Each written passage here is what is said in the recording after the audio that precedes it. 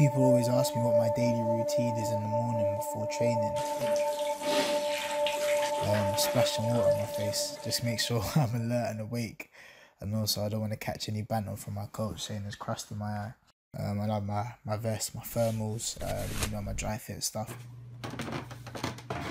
Another thing that's very important to me is starting my day with God. So I would always wake up and start with a prayer. Um, some days I will, you know, start with a devotion in the morning and read my Bible. Um, I may read it before training or sometimes um, I'll read it after training. Then it's time for my morning nutrition, uh, which could be anything from a breakfast bar, breakfast biscuit. Most times would be oatmeal and yogurt, which is my favorite. I might have some fruit like grapes, apples, um, just something light and something with enough energy that can give me enough energy to get through the morning session.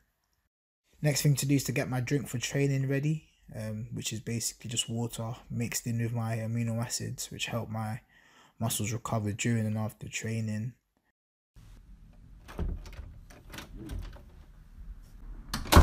Derrick's preparation for training is a well calculated one, ensuring his mind, body, and soul is ready for the day ahead. We had the pleasure of Derrick inviting us into his home to present to us, the community, his process. He seemed really spirited and looking forward to training, which makes sense considering what he shares to us about training. yeah, what you'll find with, with our funny. Like we we work extremely hard, but we laugh extremely hard. Do you know what I mean? It's, it's important. Like, a Yeah, happy yeah, boxer sure, is a man. dangerous boxer, man. And I know me, my best performances come when I'm enjoying myself and I'm happy. Do you know what I mean? Yeah, So. yeah. And that's with most boxers. You know what I mean? No, no boxer wants to be in camp for 12 weeks and just miserable and upset. And just, you know what I mean? Friday, the 10th of May, is fight night for Derrick, and reflecting with him on his drive to training, I came across an interesting revelation. Oh, man. Well, really, like, what's gonna be so mad is that when you fight on the 10th, you're Yeah. actually boxing in your hometown, bro. Yeah, like I'm actually. It's funny because I don't know. You talk about visualization and dreaming and stuff, hmm. and I remember like I feel like I said it so many times when I was younger. Derrick spent the large majority of his teenage years growing up in Woolwich, so come fight night, it will feel like a homecoming. When I first came here, I was sparring with some of these guys, and um, obviously with our coach, within a certain to a certain extent, he may like put you into spar somebody who knows is gonna challenge you Yeah. because he mentally wants to see where you're at. Derrick is talking my language here, especially with boxing being a sport that is heavily cited to be a mental challenge. I was looking forward to seeing how Derrick's coach merges boxing with the psychological aspect. I asked Derrick who is one of the toughest boxers he has sparred. Here, Derrick recalls sparring with now friend and light heavyweight boxer Seb Sluzak, who is approximately 10 kilos heavier.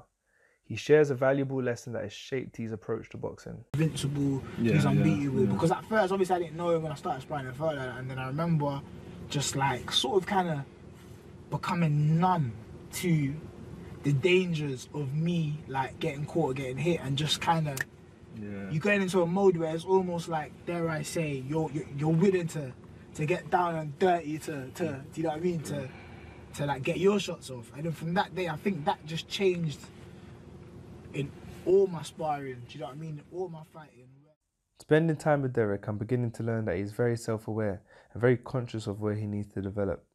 He is fearless, and that explains my perceptions on him in being a boxer that displays an all out attack boxing style that I'm sure is going to suit him during this tournament come May the 10th.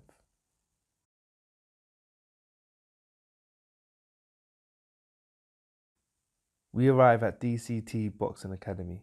Dreams come true. Derrick's home in training, where he's joined by his comrades. He then puts on his promoter hat and champions each one of their achievements. This is Joe Williams, professional boxer. He gave me recently. Congratulations. Also professional boxer. Knocked his first guy in 22 seconds. And obviously, you know, Echo. Early moments in my time here, and I'm already beginning to see that there's a genuine togetherness in the squad. Nah, Derrick's already done your 24-7 intro, man. In his own one, like. I was talking about the first time we sparred in it at Millborough. yeah. After the first round and a half, like, I thought, yeah, I'm doing alright, you know, this guy's sick as well, he's GD here. Then third and fourth round, every shot I threw, I just paid for it. I just paid for it. That's when you get killer. I just paid for it before you found it. Because killer told me. Very much aligned to Derrick's overview on the structure at DCT Academy, they know when to laugh and know when to work. The laugh and jokes come to an immediate end while they prepare for their session with Coach Barrington Brown, a former lightweight who was known during his time as B Brown, but known to the boxers at DCT as Killer. He coaches alongside Mark Howe. Again, I'm eagerly anticipating to witness the psychological inclusion.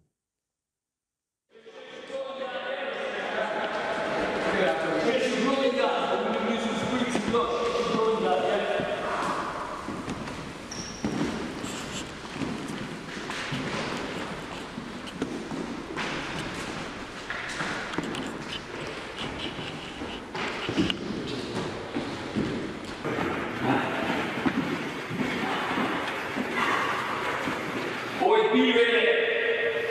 Never shake your bird like you're tired, even when you're tired. God is cooking you, He's salting you, makes you look at you and think, shit, man, that's so fresh. Let's go!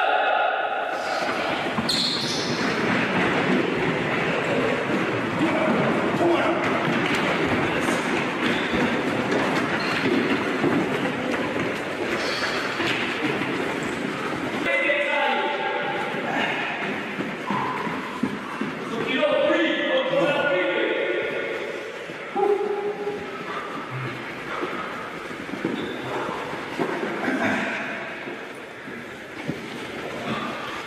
Be ready, always be ready for that sea, always ready. Always ready.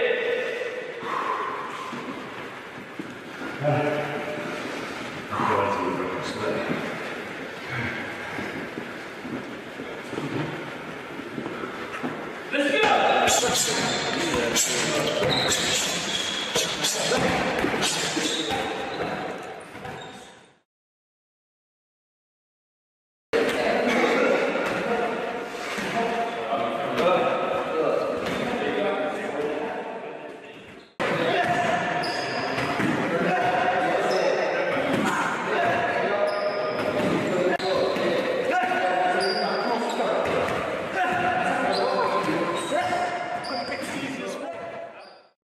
Watching and I'm impressed with the intensity level from not just Derrick, who would be at the peak of his fitness at this point, but from fighters who haven't even got an official date for their next fight yet.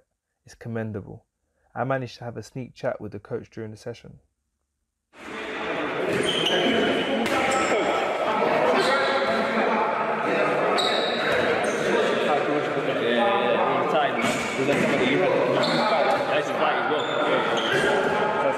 Most of boxing, you know what it is? Mental. Mental as well. Anyone can come and do all the physical work. Anyone. You can. I'm saying. It's all pure. When you start feeling them pains and feeling like you want to stop, it's all the pain. Just carry on. You know what I mean? So I'm going to talk to you like real. Like, boxing's all about pain. Like, you won't be a boxer if you didn't like pain. You understand? Don't like pain. Everything's pain. You know what I mean? Whatever. A coach and their philosophy is important to an athlete, especially in an individual sport where there is more detailed information that can be passed on to the athlete. Psychologically, the coach's philosophy is embedded in the athlete, which you will see in their game. There, I was thinking it was a very impressive session and was preparing to speak to some of the gents afterwards, but I soon realised that it wasn't finished and there was a lot more work to do.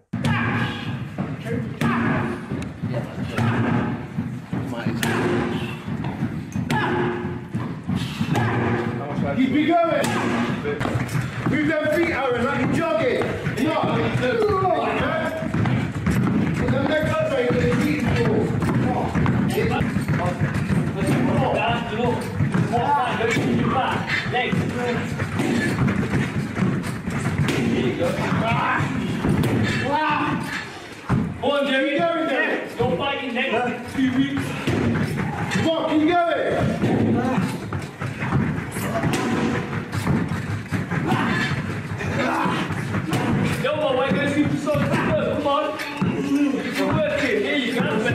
Come on, breathe and work. Come on. Keep going. Yeah, let's make a. Come on, let's work. Come on, push. Come on, work it. Get with it. With Come on, let's go. it. There you go. There you go. You go.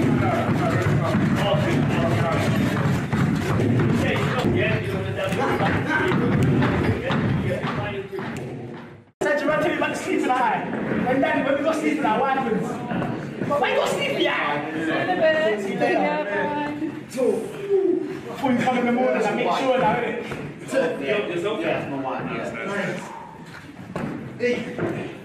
How many kids? Six kids, seven right, Mark, innit? So seven, how many grandkids now? Seventeen. Seventeen. Wait, wait, wait.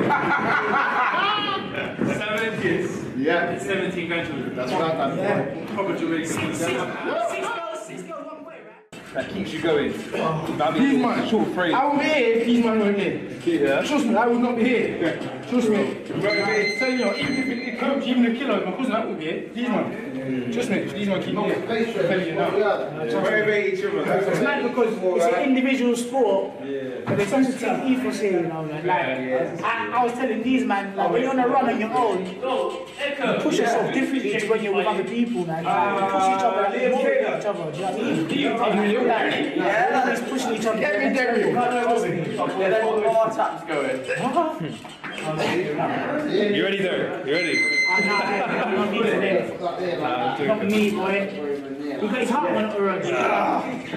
You lot are lightweight, so you can do this. I can spin the cat though, but I need a, I need a bar in his face. Again, Delmar, known as Debo, supports the observation made on the unity.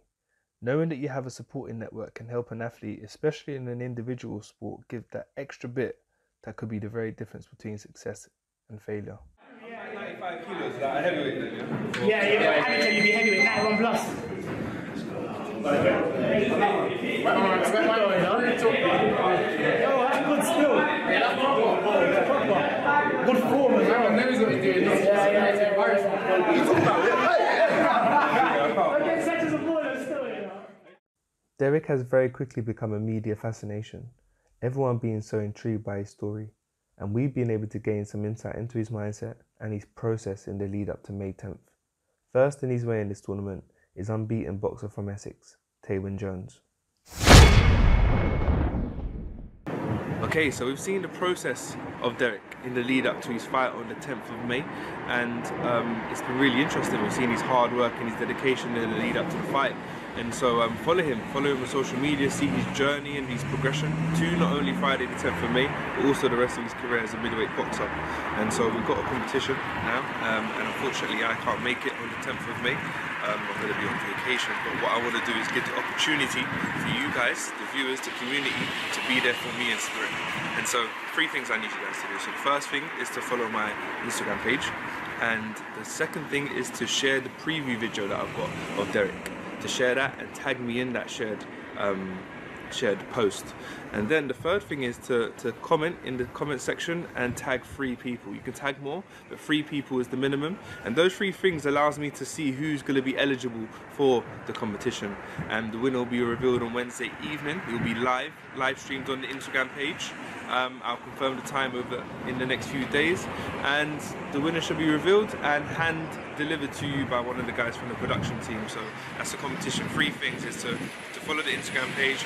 Second thing is to share the preview video and tag me in it, and then also to tag three people in the comment section, tag three friends. But yes, let's trust the process together, and it's going to be really exciting. Friday the 10th of May. Let's do it. Having comes easy as it seems. Even when it's tough, you keep on pushing, that's the concept. Keep your head up, you keep your faith and trust the process. Living in my glory, blessings manifesting.